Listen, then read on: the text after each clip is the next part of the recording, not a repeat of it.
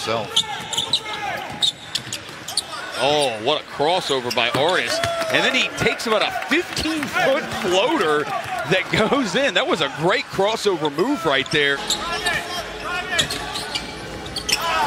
Nice Oh. feed from Delgado to Artis.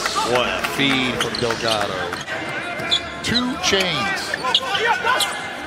Both bracelets. I mean, I can, I can keep going, but I got, I got some 2 Chainz lyrics. Army with 14 now. Artis working against Phillip. Fades and hits. Avila, who hit the three a little bit ago.